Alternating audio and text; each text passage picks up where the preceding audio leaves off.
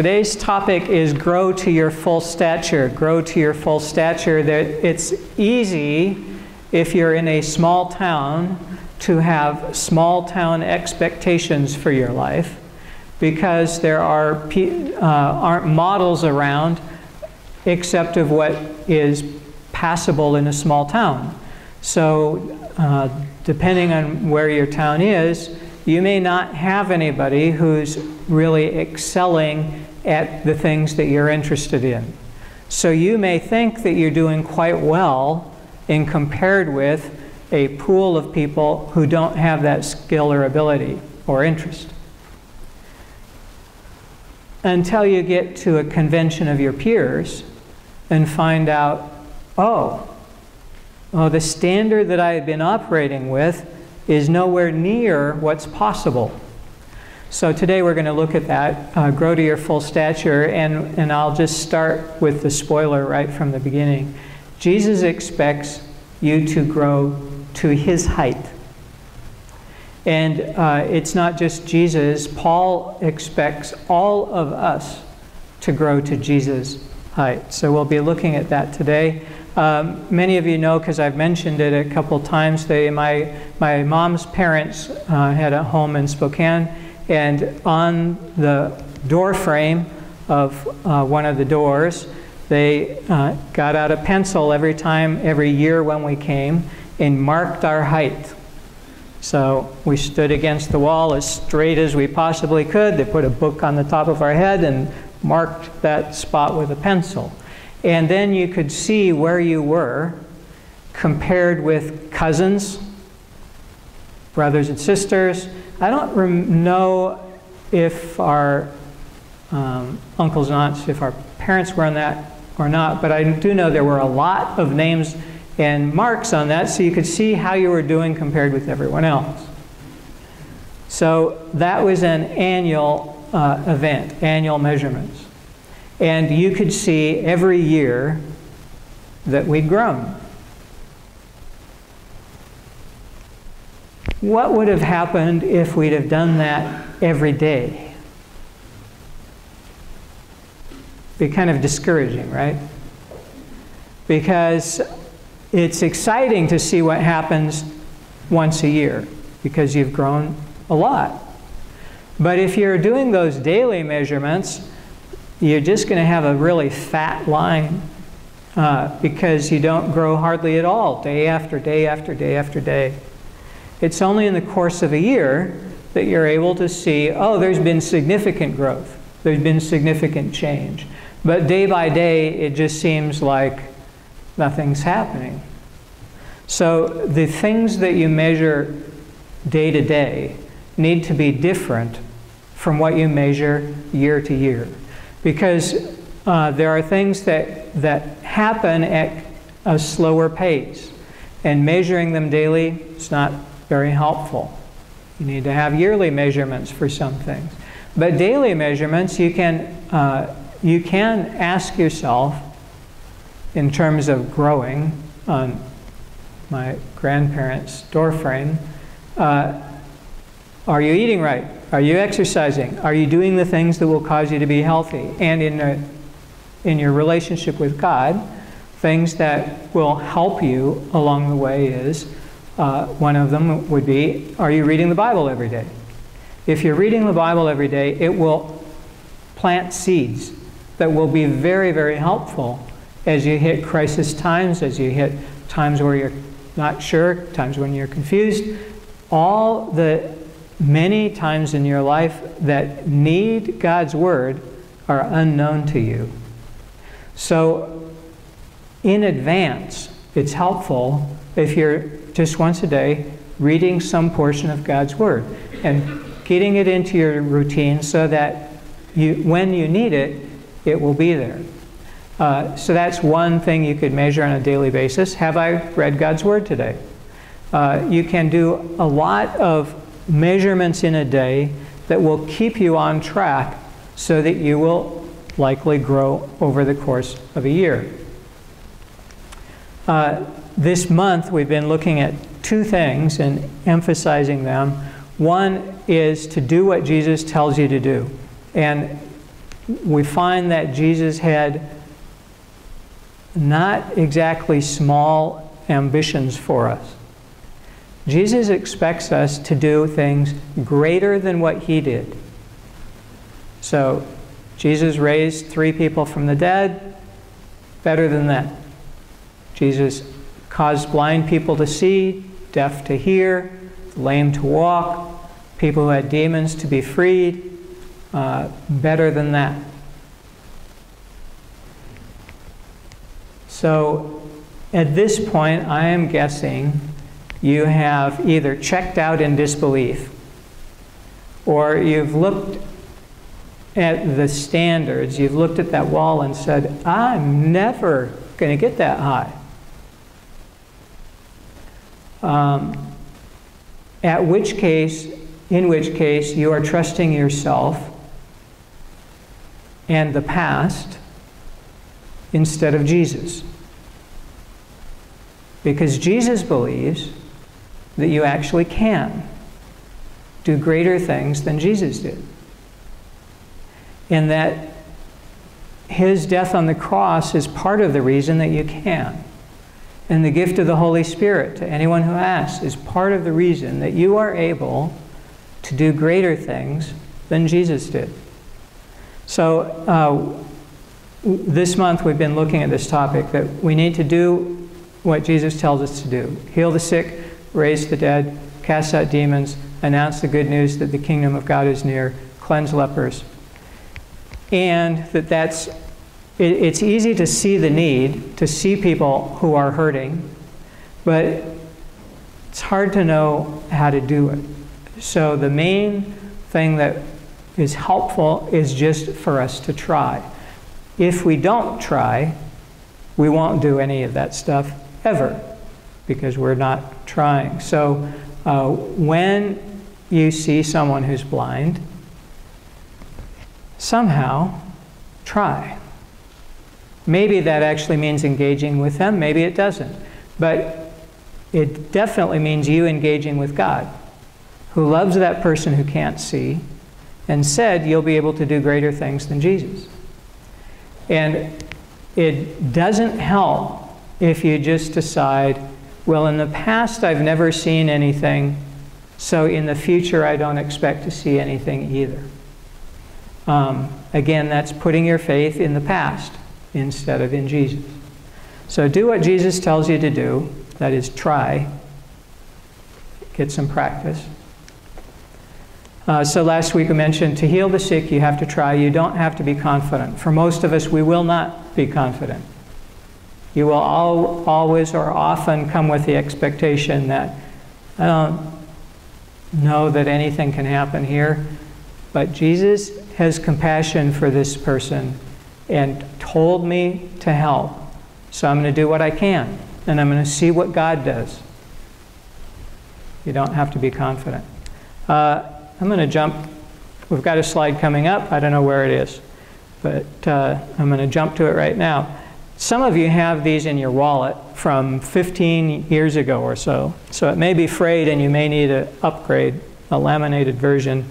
I did not print these up today, but I out today, but I do have you know, five or six for those of you who are new and would like one, or anybody who wants to get theirs renewed. This is a Kingdom of God student ID. Uh, that all of us are students and learners. This is a learner's permit. It says the bearer of this card is entitled to unlimited hours to practice being a follower of Jesus without worrying about outcome. All you have to do is practice. Doesn't matter if it works or not. Just get some practice. Uh, the bearer of this card is under the supervision of the Holy Spirit, who will guide and direct the learner and comfort and console when things don't work out as hoped. During this phase, expected to last up to 100 years, getting practice is much more important than getting things right. So, if you will approach it, I think, with this attitude I'm not the expert, I'm just a disciple of Jesus, and I'm just learning along the way. I don't know how to do this exactly, but Jesus says it's possible, so I'm going to take Jesus as his word, and I'm going to reach out and do what I can, and let God fill in the gaps and let God uh, do what God wants to do.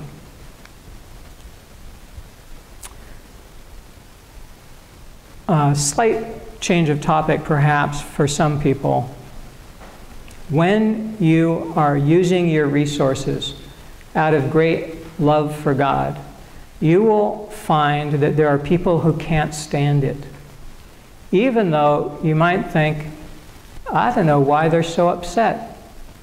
It's none of their business.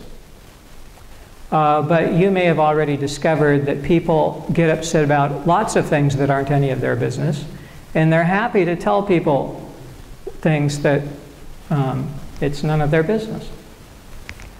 Uh, so if you want to follow along with this story, uh, John is uh, quite a ways towards the back of the book, uh, and we're going to start in John 12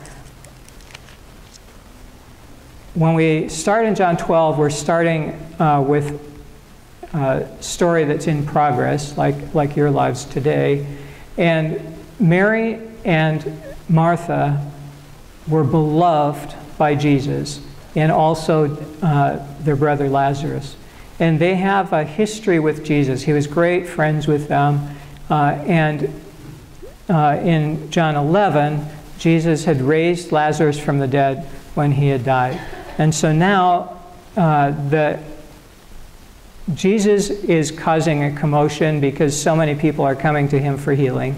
But Lazarus is now walking around testifying, Yeah, I was dead, but I'm alive.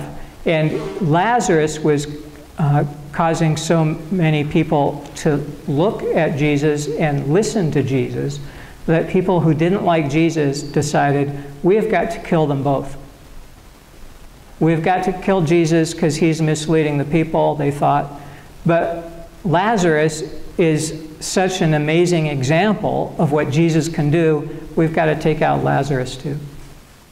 So now Jesus is at their home, home of Mary and Martha and Lazarus. Six days before the Passover, Jesus came to Bethany, the home of Lazarus, whom he had raised from the dead. And there they gave a dinner for him, and these were people with the gift of hospitality, Martha in particular. So when it says Martha served, this is someone that if you ever got an invitation from Martha, you wanted to say yes because she was so good at throwing a party. There, uh, Martha served, and Lazarus was one of those at the table with him. Mary took out a pound of costly perfume made of pure nard and anointed Jesus' feet. There is no way we can imagine what this was like. Um, if you hate perfume, you might think it's like going into Macy's, where there are several acres of people spraying perfume into the air any day that you go in there. And it's hard to tell what the scents are because there's dozens of vendors uh, trying to get you to buy their particular perfume. But that's not what it was like. Uh, just as an aside, I bought uh, article of clothes from Macy's this Christmas season and washed it twice, and I still couldn't get the perfume out. Uh, but that's still not what this was like. Um, Mary took a pound of costly perfume of pure nard, anointed Jesus' feet, wiped them with her hair, and the house was filled with the fragrance of the perfume. It was overwhelming. Over the top, too much.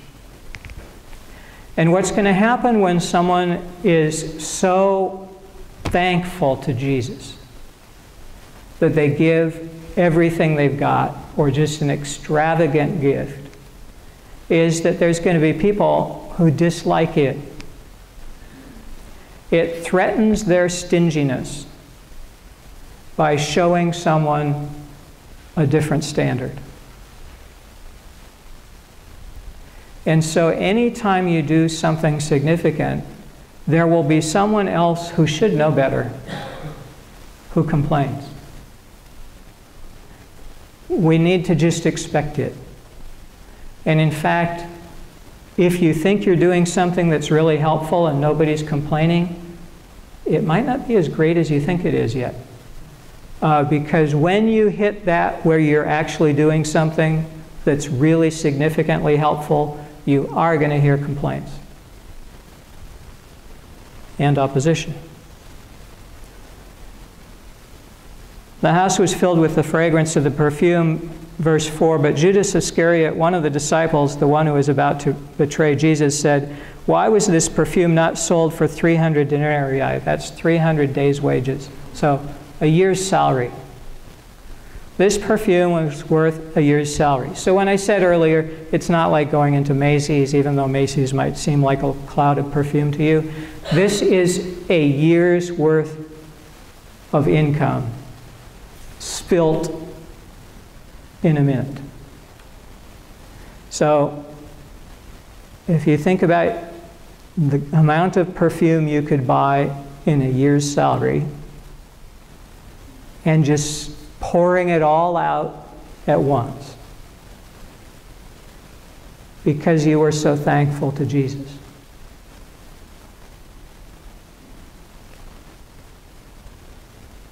Mary liked Jesus. She was a good friend of Jesus before her brother was raised.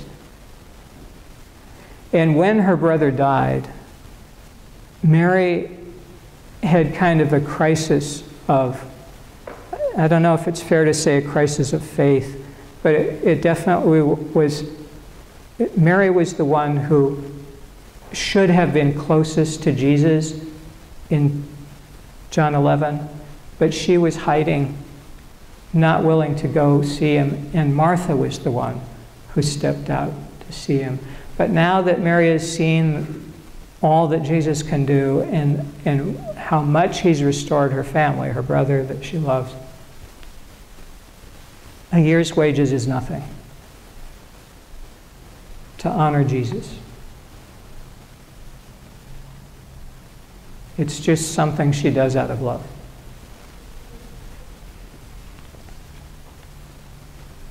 Judas says, Why was this done? Uh, verse 6 He said this not because he cared about the poor, but because he was a thief. He kept the common purse and used to steal what was put into it. Uh, but people won't, they'll be offended just by the generosity when you fall in love with Jesus and see all that he's done for you and your family. When you get to the spot of transformative thanksgiving, people around you who have hearts that are too small will be offended.